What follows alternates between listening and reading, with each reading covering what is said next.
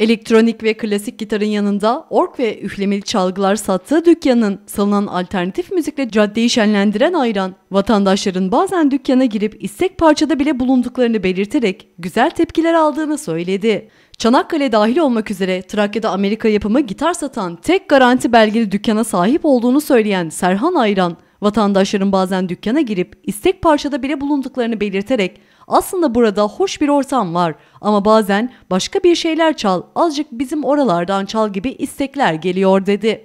Merhaba ben Serhan Ayran. Ee, Türk Dili ve Edebiyatı öğretmeniyim. Aynı zamanda radyoculuk geçmişim var.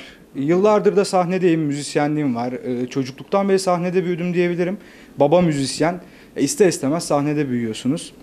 İşletmemde e, enstrüman dersleri var. Bunun yanında stüdyom var, prova ve kayıt stüdyosu. Enstrüman satışı var. Ee, şunu söyleyebilirim, Trakya genelinde Çanakkale dahil olmak üzere e, Amerikan üretimi müzik enstrümanı satan tek dükkan Stüdyo Fa. Bu güvenceyi sağlıyoruz biz insanlar. Bunun yanında bayiliklerimiz var. E, Birçok büyük firmanın, büyük birçok büyük müzik mar- mark, e, ürününün, enstrümanının bayiliğini almış bulunmaktayız. Ve bu garanti altında oluyor. Yani bizden bir enstrüman temin ettiğinizde bunun iki yıl en basitinden iki yıl bir garantisi oluyor. Bir arızayla bir sıkıntı karşılaştığınızda gelip her türlü sorunuzu hallettirebiliyorsunuz. İşletmesinde gazetecilerin sorularını yanıtlayan Serhan Ayran, Türk Dili ve Edebiyatı öğretmeni ve radyoculuk geçmişi olduğunu, uzun süredir de müzikle uğraştığını belirtti. Halktan bir nebze var ama öğrenci geldiğinde daha da artıyor bu olay.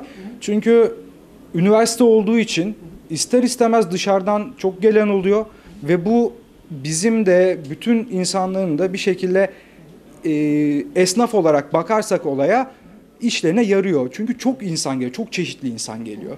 Her türden insan geliyor. Her şeyi sevebilen, farklı şeylerden hoşnut olan insanlar geliyor. Bu yüzden öğrenci geldiğinde bizim e, hitap ettiğimiz kitle daha da artıyor. Babasının müzisyen olmasından dolayı sahnelerde büyüdüğünü, dolayısıyla müziğe küçüklüğünden beri bağlı olduğunu belirten Ayran, dükkanda ağırlıkla çaldığı rock, metal ve alternatif tarzda müziğe insanların ön yargıyla yaklaşmaması gerektiğini belirtti. Aynı şekilde bu müziği dinleyenlerin de serseri tipler olarak görüldüğünü söyleyen Ayran, benim nacizane tavsiyem şu olabilir. İnsanları konuşmadan, tanımadan yargılamasınlar. Biz bu müziği seviyoruz. İnsanlar bu müziği seviyorlar. Ona göre giyinip ona göre yaşıyorlar. Belli normları var bu müziklerin. Ona göre hayatlarını devam ettiriyor bu insanlar. Ama hepsi özünde insan. Düşünebiliyorlar, konuşabiliyorlar, hisleri var. O adam yırtık pantolon giydi diye kötü biri olmuyor ya da başka biri takım elbise giydi diye iyi biri olmuyor. Böyle kıyaslamalar çok yapılmadan insanlar birbirini tanımalıdırlar dedi. Tip müzikleri dinleyenler toplumda hep böyle e, yani işi gücü olmayan, serseri Evet. insanlar olarak. Evet, genelde o kanı var halkımız tarafından, insanlar tarafından. Ee, Benim naçizane tavsiyem şu olabilir. Ya insanları konuşmadan, tanımadan yargılamasınlar. E, Çünkü biz bunu seviyoruz. Yani insanlar bu müziği seviyorlar. Ona göre giyiniyorlar, ona göre yaşayabiliyorlar. E, Ona göre ya belli normları var bu müziklerin. Ona göre hayatlarını idame ettiriyor bu insanlar.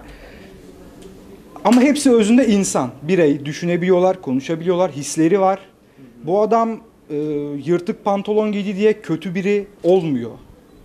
Ya, ya da başka biri takım elbise giydi diye iri, iyi biri olmuyor. Böyle ya bu kıyaslamaları çok yapmadan insanlar birbirini tanımalı bence, konuşmalı.